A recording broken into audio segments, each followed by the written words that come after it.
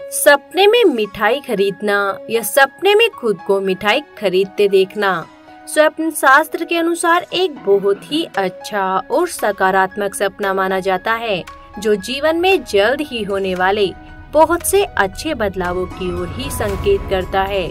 साथ ही यह सपना जीवन में किसी बड़ी सफलता के मिलने की ओर भी संकेत करता है। और यदि आप सपने में बहुत सारी मिठाइयाँ खरीदते हुए देखते हैं। तो यह सपना भी घर परिवार में किसी शुभ कार्य के संपन्न होने की ओर संकेत करता है। और यदि आप सपने में खाने के लिए मिठाइयाँ खरीदते हुए देखते हैं तो यह सपना किसी काम या योजना में मिलने वाली सफलता की ओर इशारा करता है, या जल्द ही आपका कोई रुका हुआ कार्य पूरा होगा। और यदि आप सपने में बांटने के लिए मिठाइयाँ खरीदते हुए देखते हैं तो यह सपना भी आपको जल्द ही मिलने वाली किसी पद प्रतिष्ठा की ओर संकेत करता है।